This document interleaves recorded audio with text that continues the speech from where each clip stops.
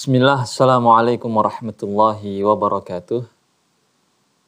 Innal hamdalillahi nahmaduhu wa nasta'inuhu wa nastaghfiruh. Wa na'udzu billahi min syururi anfusina wa min sayyiati a'malina. May yahdihillahu fahuwal muhtad wa may yudlil falan mursyida wa asyhadu an la ilaha illallah wahdahu la syarikalah wa asyhadu anna Muhammadan abduhu wa rasuluh.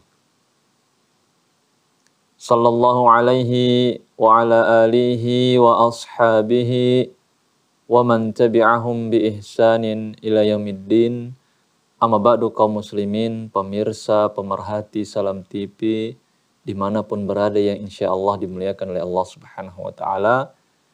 Kembali lagi kita melanjutkan acara kita, pengajian kita, di dalam pembahasan syarah kitab Tauhid. Tentunya kita mengawali perjumpaan ini bersyukur kepada Allah Subhanahu wa taala atas nikmat yang begitu sangat banyak sampai pada kesempatan kali ini. Di antara nikmat-nikmat tersebut yaitu nikmat waktu dan nikmat sehat. Yang banyak manusia lalai akan dua nikmat ini. Ya. Dan ini telah disebutkan oleh Nabi kita Muhammad sallallahu alaihi wasallam. Nikmatani maghbunun fihi katsirun minan nas. As-sihhatu wal farag. Ada dua nikmat banyak manusia tertipu lalai akan keduanya. Yaitu nikmat badan yang sehat dan nikmat waktu yang luang. Ini merupakan nikmat yang besar. Modal yang besar Allah berikan kepada manusia. Kalau seseorang mendapatkan dua nikmat tersebut, ini merupakan modal yang besar baginya untuk bisa menjalani kehidupannya. Yaitu badan yang sehat dan waktu yang luang. Berapa banyak pada hari ini saudara-saudari kita yang berbaring menderita penyakit baik di rumah ataupun di tempat-tempat kesehatan. Allah masih berikan kita kesehatan. Ini nikmat yang besar. Demikian pula waktu luang. Ini nikmat juga. Ya, berapa banyak orang dia memiliki segalanya dari urusan dunia, dari harta benda dunia. Akan tetapi kalau kita lihat waktunya itu habis untuk hal-hal yang tidak bermanfaat. Habis untuk mengurusi dunianya saja untuk Allah sudah tidak ada lagi waktunya. Ya. Untuk keluarga sudah tidak ada lagi. Bahkan terkadang untuk dirinya sendiri pun sudah tidak ada lagi waktu. Habis untuk mengurusi harta bendanya. Ya. Oleh karenanya orang yang mendapati dirinya sehat walafiat, luang waktunya bisa dia isi dengan kesem ya, kegiatan-kegiatan yang bermanfaat bersyukurlah kepada Allah Subhanahu wa taala. Jangan sampai kita menjadi golongan yang dikatakan oleh Nabi Shallallahu alaihi wasallam yang lupa dan terlalaikan dari nikmat tersebut. Salawat dan salam kepada Nabi kita Muhammad Shallallahu alaihi wasallam yang telah mengajarkan para sahabat agama Islam ini Kemudian para sahabat pun mengajarkannya kepada generasi setelahnya dan seterusnya sampai kita bisa merasakan nikmatnya kita beragama Islam. Nikmatnya kita bisa menjalankan sunnah.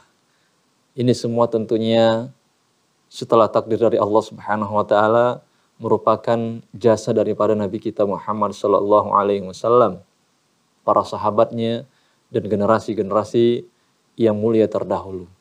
Oleh karena senantiasa kita berselawat kepada mereka semua. Semoga Allah Subhanahu wa taala kumpulkan kita bersama mereka ya orang-orang soleh terdahulu. Amin ya rabbal alamin. Pemirsa Salam TV yang dimuliakan oleh Allah Subhanahu wa taala. Pembahasan kita pada kesempatan kali ini masih berkaitan dengan ibadah hati. Ya. Sebagaimana pertemuan-pertemuan sebelumnya kita telah mengulas ya berbagai macam jenis ibadah-ibadah hati. Di antaranya adalah mahabbah. Ya, rasa cinta. Telah kita ya, bahas apa itu rasa cinta, kepada siapa kita harus meletakkan rasa cinta. Demikian pula al-khauf, rasa takut. Ini juga ibadah hati. Ya, yang tentunya yang kalau namanya ibadah, maka pada dasarnya harus kita tujukan hanya kepada Allah Subhanahu wa taala. Orang yang memalingkan ibadah kepada selain Allah, kepada siapa pun, kepada apa pun, maka dia bisa terjerumus ke dalam kesyirikan. Demikian pula pembahasan kita pada kesempatan kali ini berkaitan tentang tawakal. Ya. Yang mana telah kita sebutkan tadi termasuk ibadah hati yang paling agung. Ya. Karena di dalam tawakal itu ya tercakup ya nilai-nilai tauhid Artinya orang yang bertawakal benar-benar dia bertawakal kepada Allah Subhanahu wa taala sesungguhnya dia telah merealisasikan tauhid itu. Ya. Karena makna tawakal itu sendiri adalah al-i'timadu 'ala Allah fi jalbin naf'i au daf'i dharri ma'ahdhi bil asbabi al-mubahah. Ya. Tawakal itu artinya adalah seseorang bersandar kepada Allah Subhanahu wa taala. Ya, baik dalam hal ya kebaikan yang ingin dia dapatkan ya ataupun ya, bahaya yang ingin dia tolak. Ya. Bersama dengan itu dia harus mengambil sebab-sebab yang diperbolehkan. Itu adalah arti daripada tawakal. Ya. Menyerahkan urusan kepada Allah Subhanahu wa taala. Orang yang bertawakal tentunya dia telah meyakini di sana ada zat yang dia bersandar kepadanya. Dia yakin di sana ada zat yang mampu mengabulkan permintaannya. Ya, ini merupakan nilai tauhid, keyakinan tersebut. Ya, sehingga kita katakan tadi orang yang bertawakal kepada Allah dengan sebenar-benarnya tawakal, sesungguhnya dia telah mengaplikasikan tauhid itu sendiri. Pemirsa Salam TV yang dimuliakan oleh Allah Subhanahu wa taala, kita akan bacakan beberapa dalil yang dibawakan oleh penulis berkaitan tentang tema ini. Yang pertama, firman Allah Subhanahu wa taala di dalam surah Al-Maidah ayat ke-23, Allah Subhanahu wa taala berfirman, "Wa 'alallahi fatawakkalu in kuntum mu'minin." Ya. Hendaknya kalian bertawakal kepada Allah saja kalau kalian benar-benar orang yang beriman. Iya. Kalau kalian orang yang beriman, maka hendaknya kalian bertawakal hanya kepada Allah Subhanahu wa taala. Sehingga dikatakan oleh para ulama, orang-orang yang tidak bertawakal kepada Allah, maka tidak ada iman padanya. Tidak beriman kepada Allah. Iya. Orang-orang yang bergantung kepada selain Allah, bersandar kepada selain Allah Subhanahu wa taala, berdasarkan ayat ini dia tidak beriman kepada Allah. Karena kalau dia beriman kepada Allah, yakin kepada Allah, seharusnya dia itu bersandar kepada Allah di dalam semua perkara kehidupannya. Bahkan dalam urusan akhirat juga. Ya, misalnya seseorang ingin masuk ke dalam surga Allah Subhanahu wa taala dan ingin dijauhkan dari api neraka. Dia harus bertawakal kepada Allah. Bagaimana? Yaitu dia bergantung kepada Allah Subhanahu wa taala. Dia berharap kepada Allah Subhanahu wa taala agar kiranya dia dimasukkan ke dalam surga Allah Subhanahu wa taala. Bersamaan dengan itu dia mengambil sebab-sebab. Ya, kalau di bahasa kita dia berikhtiar, dia berusaha. Ya, inilah disebut dengan orang yang bertawakal ya dia harus serahkan urusan itu kepada Allah. Berapa banyak manusia ya bekerja dia, berusaha, beramal akan tetapi hatinya kosong dari bersandar kepada Allah. Dia bersandar dengan kekuatan badannya. Dia bersandar dengan kecerdasannya. Bersandar dengan usahanya. Ini kurang tepat kurang sempurna. Iya. Usahanya itu, pekerjaannya itu sudah bagus. Ya, dia mau berusaha, mau berikhtiar untuk mendapatkan apa yang dia inginkan. Harus ditambah satu lagi, yaitu dia harus menyerahkan urusan kepada Allah, bersandar kepada Allah Subhanahu wa taala. Baru sempurna tawakalnya. Jadi tawakal itu sempurna tatkala bergabung padanya dua perkara. Yang pertama dia bersandar kepada Allah, harus kepada Allah saja. Ya, karena Allah yang memiliki segalanya. Allah yang mengatur segalanya. Ya. Di satu waktu juga dia harus mengambil usaha, mengambil sebab, berikhtiar. Inilah disebut dengan orang yang bertawakal. Ketika dia mampu menggabungkan dua dua perkara ini. Yang pertama tadi dia bersandar kepada Allah dan dia harus mengambil usaha, mengambil sebab. Bersandar saja tanpa mengambil sebab ini juga tidak benar, tidak bertawakal kepada Allah. Ya. Seperti orang misalnya dia ingin keturunan, ingin memiliki anak. Dia hanya bersandar kepada Allah sehingga dia meyakini kalau Allah berkehendak aku punya anak, ya, pasti aku punya anak walaupun aku tidak menikah. Ya, ini juga salah, ini tidak benar.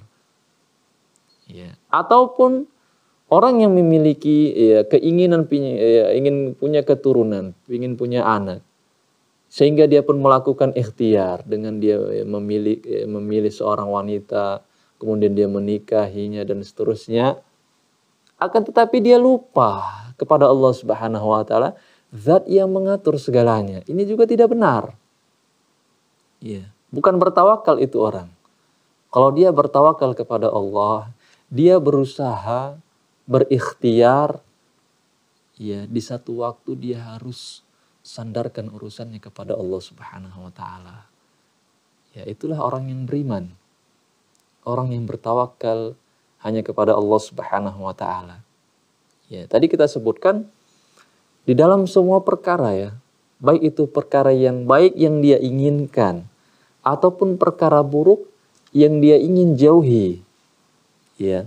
Seperti misalnya satu contoh orang yang terkena penyakit ya sehingga dia pun sakit berbaring di rumahnya. Dia harus bertawakal kepada Allah. Bagaimana bentuk tawakalnya? Dia harus berobat. Dia harus berikhtiar. Ya. Mencari orang yang ahli di dalam masalah penyakit tersebut. Tapi tidak cukup sampai situ saja. Ya, dia harus bertawakal, dia harus menyerahkan urusannya kepada Allah. Dia bersandar kepada Allah. Dia minta kesembuhan juga kepada Allah Subhanahu wa taala. Ya. Jadi tidak benar kalau seseorang hanya bersandar kepada sebab saja. Ya, misalnya seseorang yang sakit dia terlalu bersandar kepada obat-obatan ataupun kepada dokter yang akan memeriksanya. Berapa banyak orang demikian? Ketika dia sakit, dia berangkat ke ya orang-orang yang ahli di dalam masalah kesehatan akan tetapi dia lupa kepada Allah Subhanahu wa taala. Zat yang mengangkat penyakit. Ya, seharusnya hatinya itu tetap bersandar kepada Allah Subhanahu wa taala. Benar dia usahanya itu sudah benar. Ya, dia mencari orang yang pintar. Ya, mencari obat dan seterusnya. Itu benar. Namun harus ditambah satu lagi, yaitu dia bersandar kepada Allah Subhanahu wa taala. Dia minta kepada Allah Subhanahu wa taala. Ya, supaya tawakalnya itu menjadi sempurna. Ya, maka pemahaman yang demikian ini harus terus kita dengung-dengungkan di tengah-tengah masyarakat. Karena berapa banyak masyarakat yang sangat bergantung terhadap sebab-sebab saja. Lupa kepada zat yang mentakdirkan segalanya yaitu Allah Subhanahu wa taala. Insya Allah akan kita sambung pembahasan ini setelah jeda berikut ini.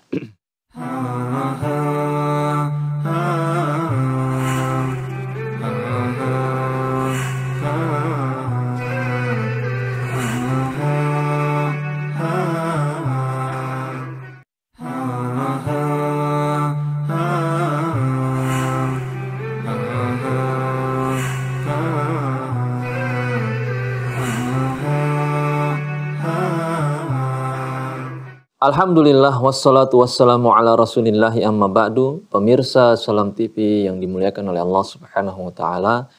Kembali kita melanjutkan pengajian kita di dalam syarah kitab Tauhid. Semoga Allah subhanahu wa ta'ala senantiasa berikan kita keistiqomahan dari dalam ia mempelajari agama Islam ini. Demikian pula Allah subhanahu wa ta'ala memberikan kita hidayah untuk kita bisa mengamalkan ilmu-ilmu yang telah kita pelajari. Ya karena sejatinya ilmu itu kita pelajari untuk kita amalkan.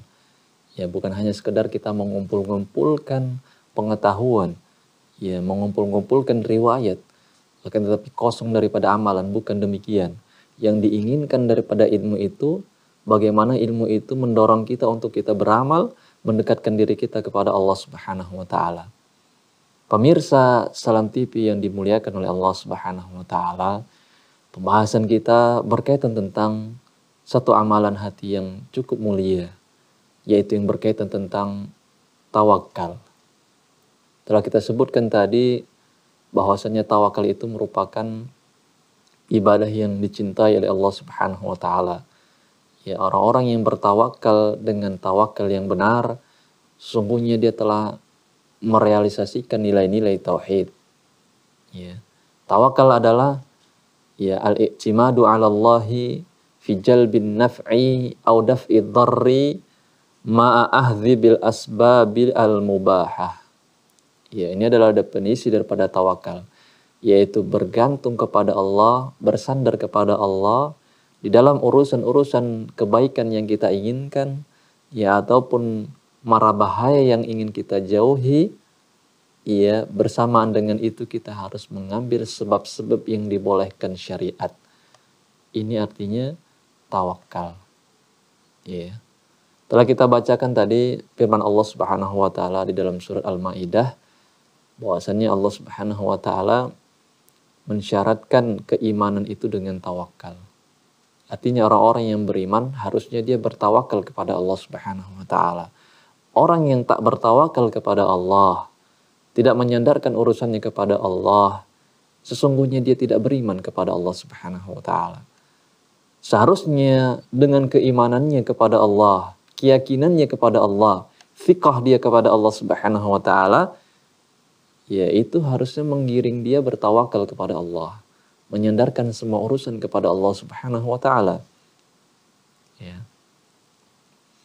Pemirsa Salam TV yang dimuliakan oleh Allah Subhanahu wa taala, Kembali kita bacakan ya, dalil yang dibawakan oleh penulis berkaitan tentang tema kita, yaitu firman Allah Subhanahu wa taala di dalam surah Al-Anfal ayat kedua sampai keempat. Allah Subhanahu wa taala berfirman Innamal mu'minuna alladzina idza dzukirallahu wajilat qulubuhum wa idza tuliyat alaihim ayatuhu zadatuhum imana wa ala rabbihim yatawakkalun alladzina yuqimuna as-salata wa mimma razaqnahum yunfiqun.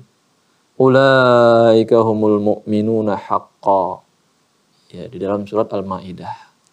Allah Subhanahu wa taala berfirman sesungguhnya orang-orang yang beriman itu adalah orang-orang yang apabila mendengar nama Allah Subhanahu wa taala bergetar hatinya bergetar jiwanya tatkala dia mendengar nama Allah disebutkan. Ya. Wa idza tuliyat alaihim ayatuhu zadathum imana. Apabila dibacakan ayat-ayat suci Al-Qur'an, orang yang beriman itu imannya bertambah. Ya. Ketika dia mendengar kalam Allah, ayat-ayat Al-Qur'an dibacakan, dia merasakan keimanannya itu bertingkat, naik. Ini adalah orang yang beriman. Ya. Wa ala rabbihim yatawakkalun dan Allah katakan orang yang beriman adalah orang yang bertawakal kepada Rabbnya yaitu Allah Subhanahu wa taala. Alladzina yuqimuna shalah wa mimma razaqnahum yunfiqun. Dan orang yang beriman adalah orang yang mendirikan sholat. Ya, dan menunaikan zakat. Ini adalah orang yang beriman. Ya, menegakkan sholat pada waktunya. Ya, dan dia juga mengeluarkan sebagian hartanya untuk ya, di jalan Allah di jalan Allah Subhanahu wa taala. Ya. Ulaika humul mu'minuna haqqa. Mereka itulah adalah orang-orang yang beriman dengan keimanan yang benar. Ya. Jadi di dalam ayat ini Allah sebutkan ya sifat-sifat orang-orang yang beriman dengan keimanan yang benar. Ya. Di antara sifat-sifat tersebut kalau kita boleh ulang, yaitu yang pertama tatkala mendengar nama Allah, ya, hatinya bergetar. Ya. Artinya apa? Ada pengagungan di dalam hatinya itu. Ya, beda ya ketika dia mendengar nama orang, nama manusia dengan mendengar nama Allah itu ada bedanya. Sebagian manusia biasa saja mendengar nama Allah, mendengar nama orang, mendengar ya cerita, mendengar ayat Al-Qur'an itu tidak ada ya tidak ada connect di dalam hatinya, biasa saja. Ya. Adapun orang yang beriman ketika dia mendengar nama Allah dia langsung bergetar jiwa itu. Ya.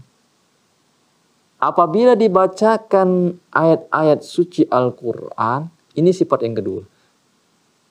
Imannya bertambah. Ya, karena iman itu bisa bertambah dan berkurang. Ya. Al-imanu yazidu wa yankusu. Ya. Yazidu bi ta'ati wa yankusu bil maksiyah. Ya. Iman itu sebenarnya bisa bertambah dan berkurang ya berkurang. Bertambah dengan ketaatan dan bisa berkurang dengan kemaksiatan. Ini adalah akidah halusunnah wal jamaah.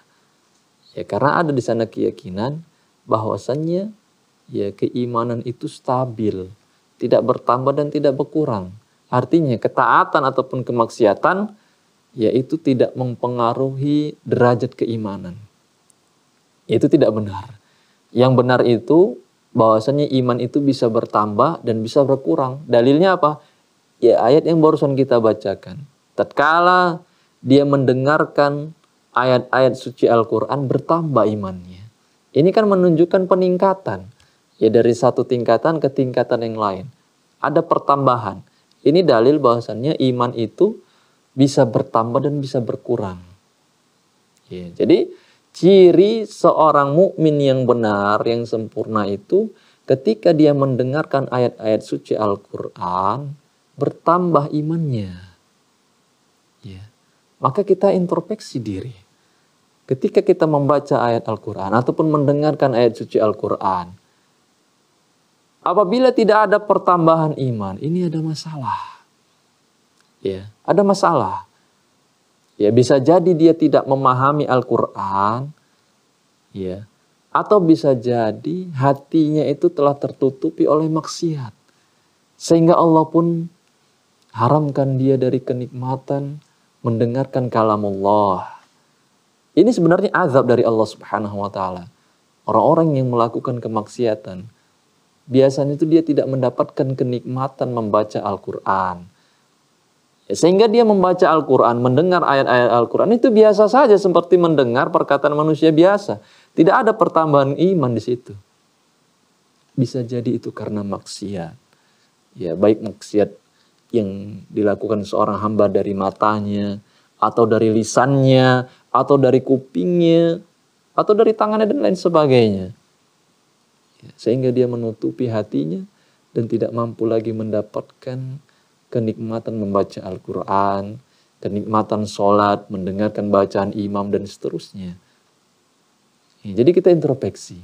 Karena Allah katakan orang yang beriman dengan keimanan yang benar, yang sempurna, dia ketika mendengarkan ayat Allah bertingkat, bertambah itu iman. Iya. Berarti kalau tidak bertambah ada masalah. Maka cepat kita obati, kita cari nih apa masalahnya. Iya. Kemudian wa ala rabbihim yatawakkalun. Orang yang beriman dengan keimanan yang sempurna yaitu mereka adalah orang yang bertawakal kepada Robnya yaitu Allah Subhanahu wa taala dan ini merupakan tema kita. Ya sehingga penulis membawakan ayat ini. Ya karena di sini disebutkan ya berkaitan tentang tema kita yaitu orang yang beriman adalah orang yang bertawakal hanya kepada Allah Subhanahu wa taala. Menyerahkan urusannya hanya kepada Allah Subhanahu wa taala. Baik urusan dunia ataupun urusan akhirat. Ya, ini harusnya menjadi prinsip bagi kita. Ya. Karena kita di dunia ini ya banyak melakukan aktivitas. Baik ya aktivitas itu untuk tujuan dunia, ya misalnya seseorang mencari, mengumpulkan harta benda, ataupun yang berkaitan tentang akhirat, yaitu seseorang beramal soleh, beribadah, ya tentunya semua itu memiliki tujuan, ya baik tujuan kebaikan yang ingin dia peroleh ataupun ya ingin menghindari dari mara bahaya, ya seharusnya semua itu kita serahkan kepada Allah, kita bertawakal kepada Allah. Ya dalam semua lini. Bukan hanya urusan dunia. Ketika dia ingin mencari harta mencari ya istri mencari perobatan ya dan lain sebagainya bahkan pun sampai urusan akhirat kita juga diperintahkan untuk bertawakal kepada Allah Subhanahu wa taala. Urusan akhirat apa maksudnya? Ya kita ingin masuk ke dalam surga, ingin mendapatkan kenikmatan di surga, kita harus bertawakal kepada Allah harus menyandarkan urusan kepada Allah Subhanahu wa taala. Ya, karena Allah yang memiliki segalanya. Allah yang mengatur segalanya. Ya. Di samping itu juga kita melakukan sebab-sebab yang diperbolehkan. Ya, karena manusia ya masuk ke dalam surga itu bukan hanya karena amalannya. Ya akan tetapi kembali kepada rahmat Allah Subhanahu wa taala. Karena kalau seseorang ya mendapatkan surga dengan amalannya berapalah amalan manusia umurnya begitu pendek amalannya bisa jadi tercampur dengan noda-noda kesyirikan tidak sebanding tidak sebanding amalannya itu dengan balasan surga yang begitu sangat sangat luar biasa. Ya sebenarnya amalnya itu untuk mencari keridhaan Allah Subhanahu wa taala. Manusia masuk ke dalam surga Allah karena rahmat dan ridha Allah Subhanahu wa taala bukan karena amalannya. Memang amalan itu merupakan salah satu sebab. Ya, salah satu sebab yang harusnya dilakukan oleh seorang hamba untuk dia mendapatkan apa yang dia inginkan daripada nikmat surga Allah Subhanahu wa taala.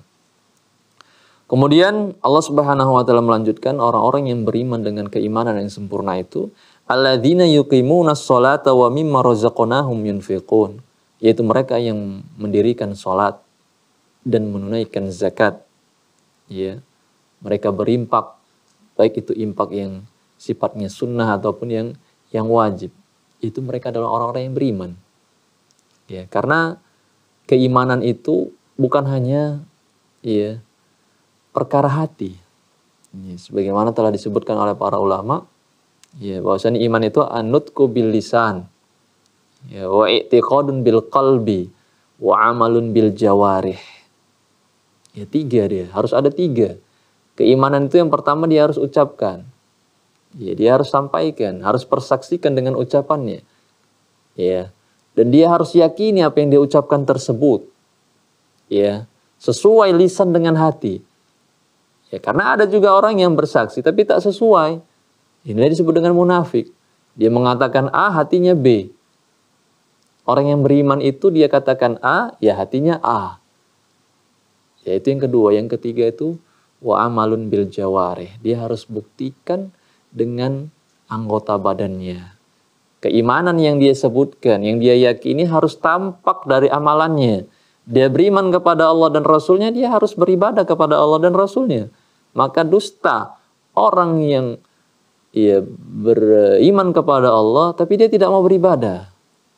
Ya, dia katakan dia cukup iman itu di dalam dada saja maka itu tidak benar. Ia menyelisihi akidah ahlus sunnah wal jamaah. Karena iman menurut ahlus sunnah wal jamaah itu harus tiga dia tercakup.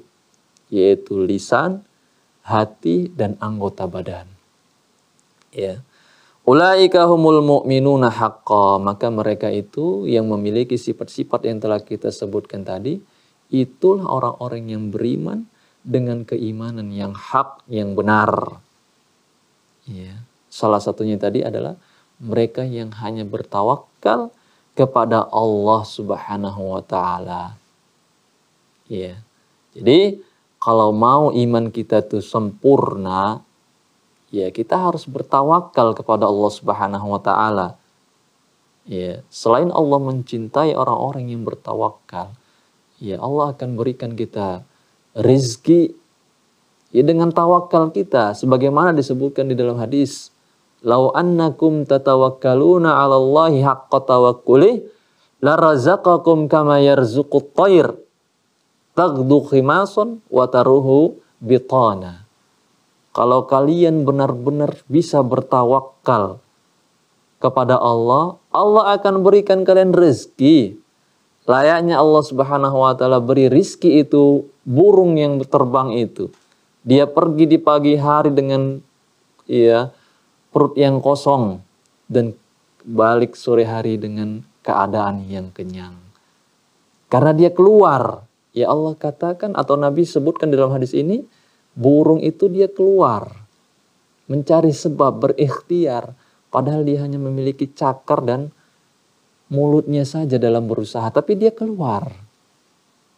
Ya berusaha. Allah berikan dia rezeki. Apalagi kita manusia yang Allah berikan banyak kesempurnaan. Ya, mulai dari akal bisa berpikir dengan baik, anggota tubuh yang sempurna, penglihatan dan pendengaran, ini semua ya memberikan kita kemudahan untuk kita bisa berusaha. Insya Allah akan kita sambung pembahasan ini setelah jeda berikut ini.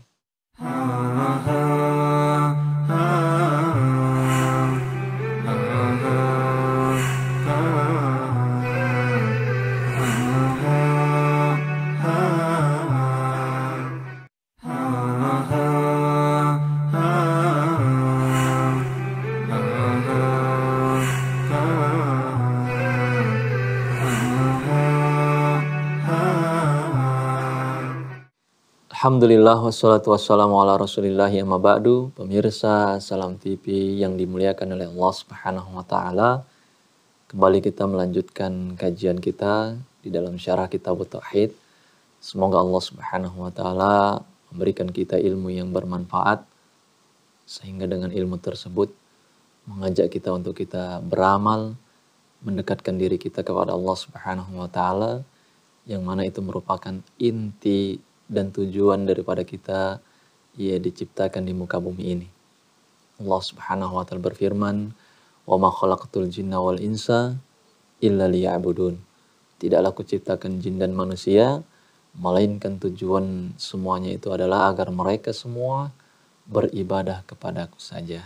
Maka kita berdoa kepada Allah Subhanahu wa taala agar kiranya ilmu yang telah kita pelajari itu bisa mengantarkan kita untuk kita terus beramal, terus mendekatkan diri kita kepada Allah Subhanahu wa taala yang pada akhirnya kita bisa mendapatkan balasan yang besar, balasan yang agung yaitu surga Allah Subhanahu wa taala. Amin ya rabbal alamin. Pemirsa Salam TV yang dimuliakan oleh Allah Subhanahu wa taala, pembahasan kita masih berkaitan tentang tawakal. Ya, telah kita sebutkan tadi panjang lebar berkaitan tentang sifat-sifat orang-orang yang beriman dengan keimanan yang benar. Salah satunya yaitu mereka orang-orang yang bertawakal hanya kepada Allah Subhanahu wa taala. Ya. Telah kita sebutkan bahwasanya tawakal itu harus tercakup padanya dua perkara. Ya. Tawakal yang sempurna harus ada padanya dua perkara. Yang pertama harus ada padanya penyandaran diri kepada Allah Subhanahu wa taala al-i'timadu Allah. Ya. Baik dalam urusan kebaikan yang ingin dia peroleh ataupun kemudaratan yang ingin dia ingin dia tolak. Dia harus bersandar kepada Allah Subhanahu wa taala. Ya, adapun contoh-contohnya sangatlah banyak. Kebaikan yang ingin dia peroleh misalnya dia ingin ya anak yang soleh ya ataupun ya anak yang taat kepada Allah Subhanahu wa taala, anak yang habis Al-Qur'an, ya yang menuntut ilmu syar'i ya ataupun dia ingin rezeki yang yang baik ya rezeki yang banyak ya ataupun dia ingin ya, mendirikan misalnya lembaga pendidikan Ya, ini adalah urusan-urusan yang baik yang dia inginkan. Maka dia harus bertawakal kepada Allah. Itu urusan-urusan dunia. Adapun urusan-urusan akhirat, misalnya dia ingin mendapatkan kenikmatan di akhirat yaitu dengan masuk ke dalam surga Allah. Dia juga harus bertawakal kepada Allah Subhanahu wa taala. Adapun ketika seseorang juga ingin tertolak darinya mara bahaya, dia juga harus bertawakal kepada Allah. Ya misalnya dia sedang bersafar, dia takut kecelakaan, dia harus bertawakal kepada Allah. Ya atau dia takut tertimpa penyakit atau penyakit itu sudah turun kepadanya, sudah dideritanya, dia juga harus bertawakal kepada Allah Subhanahu wa taala. Dia bersandar kepada Allah Subhanahu wa taala. Ya. Di samping dengan itu dia harus mengambil sebab-sebab, dia harus berikhtiar supaya tawakalnya itu menjadi menjadi sempurna. Dan ini telah dicontohkan oleh Nabi kita Muhammad Sallallahu Alaihi Wasallam.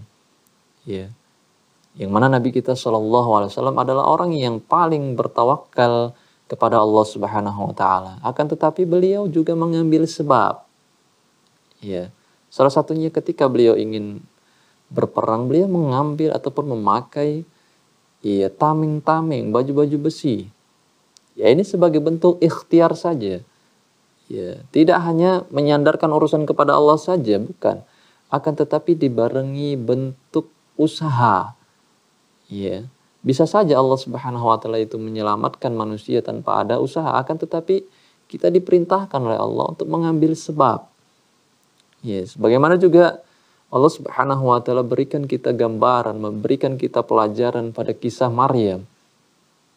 Yang mana dalam keadaan susah payah, dalam keadaan lapar, mengandung, ya, dia diperintahkan oleh Allah Subhanahu wa taala untuk menggoncang pohon korma itu.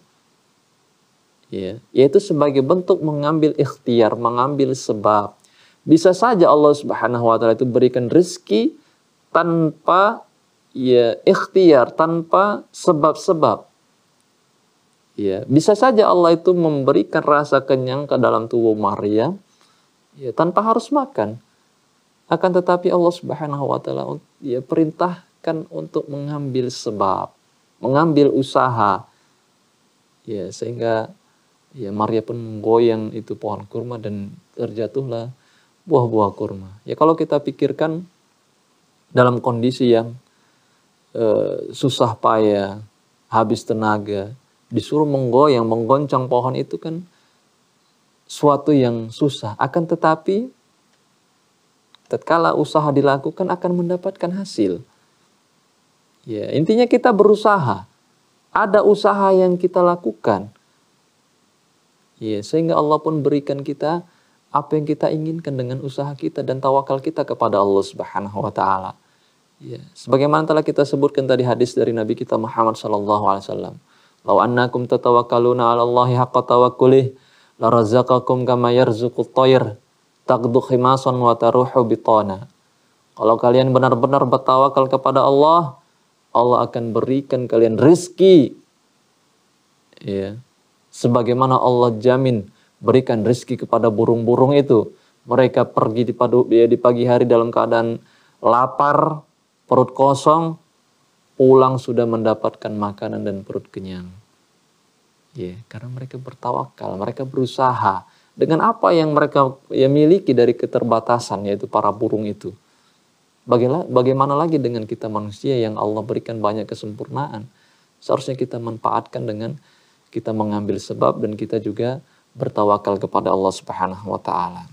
Allah Subhanahu wa taala berfirman di dalam surah At-Talaq, "Wa may yatawakkal 'ala Allahi fahuwa hasbuh." Ya, orang yang bertawakal kepada Allah, Allah cukup baginya. Ya, cukuplah Allah baginya.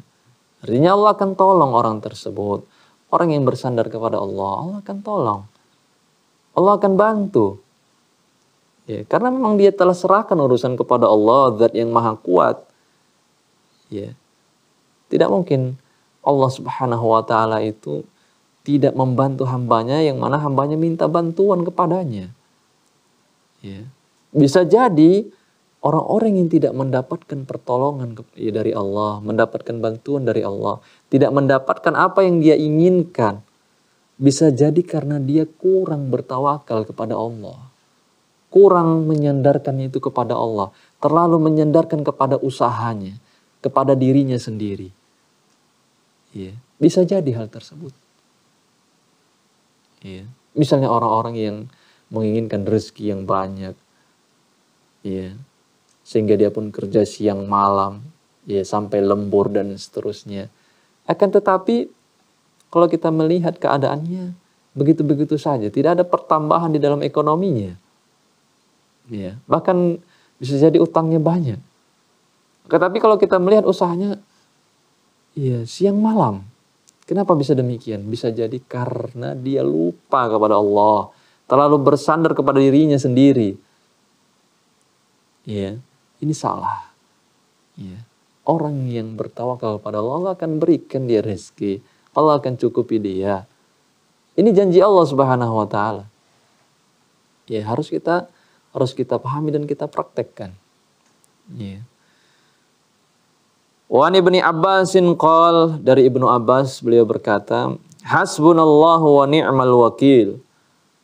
Ya Allah Subhanahu wa taala berfirman di dalam surah Ali Imran, Hasbunallahu wa ni'mal wakil. Cukuplah Allah bagi kami ya bahwasanya Allah adalah sebaik-baik ya yang maha membantu ya Doa ini diucapkan oleh Ibrahim alaihissalam hina ulkiya finnar wa qalaha Muhammadun sallallahu alaihi wasallam hina qalu lahu inna nasa qad jama'u lakum fakhshawhum fazaduhum imana.